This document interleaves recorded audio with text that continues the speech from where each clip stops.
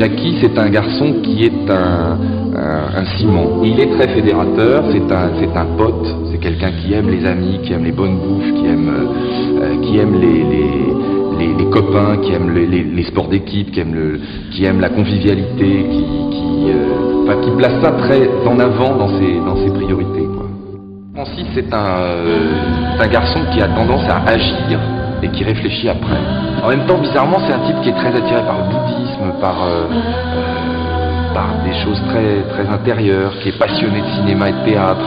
Enfin, il a, il a une espèce de monde intérieur très riche dont, dont il nous parle assez peu. C'est un garçon qui est surprenant, voilà. Charlie est l'être le plus euh, fragile que je connaisse. Il est très fragile. C'est quelqu'un qui qui, à qui on peut faire beaucoup de mal très facilement et qui, bizarrement, a également une force de caractère, une volonté.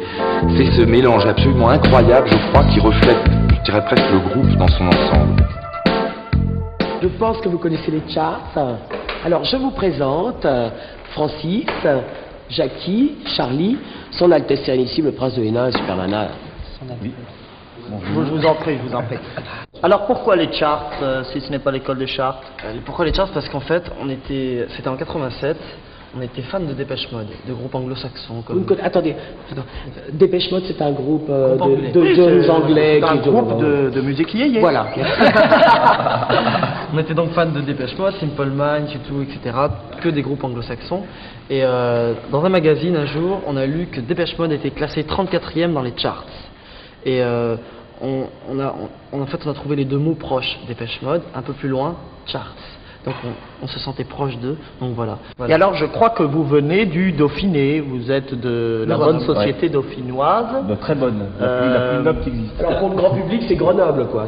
Voilà, Grenoble. Donc vous avez connu les La Tour du Pin, les Tansins, le, oui, bien sûr. on est allé au château de Vizy. on, a, on, a, on a des, euh, des chevaux, tu sais, des choses très... On a très visité, on a visité le château de Vizy, exactement. Ouais. Ça c'est tous les, tous les mômes, euh, ils font des voyages scolaires au château de Vizy, exactement.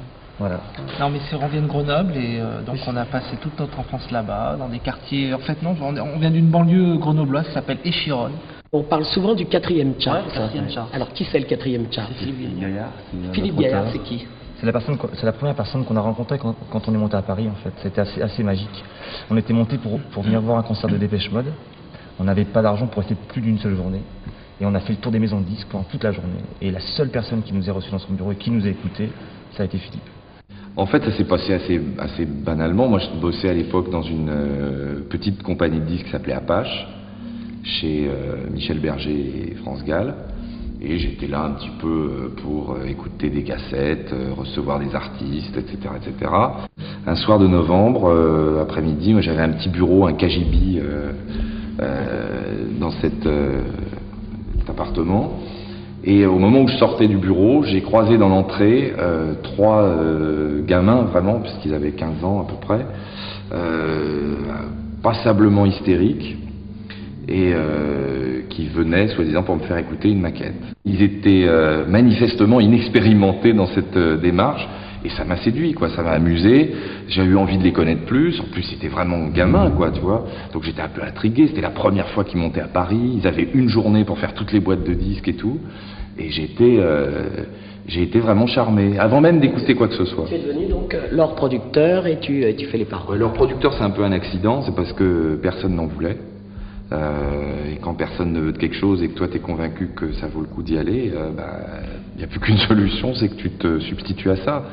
Donc euh, je suis devenu leur producteur et leur parolier, les deux par accident. En fait, on, on, donc c'est une équipe de trois compositeurs et d'un auteur. C'est lui qui écrit les, donc les, les chansons, les textes. Et euh, on a tenu à ce, qui, à ce que la relation artiste-producteur avec lui ne nous intéressait pas. On, a, on avait envie qu'il vienne dans le groupe avec nous, qu'il qu participe vraiment à la création. On n'avait pas envie qu'il y ait comme ça une espèce de, distance entre nous. Et euh, au fil du temps, c'est devenu vraiment euh, l'auteur du groupe. Et, euh, et, voilà quoi. Et en fait, quand on l'a rencontré, on, on s'est précipité pour aller chercher les maquettes qu'on avait laissées ailleurs parce qu'on voulait pas se faire ce métier sans lui. On voulait le faire avec lui parce que c'est avant tout un. C'est vraiment un coup de foudre mutuel.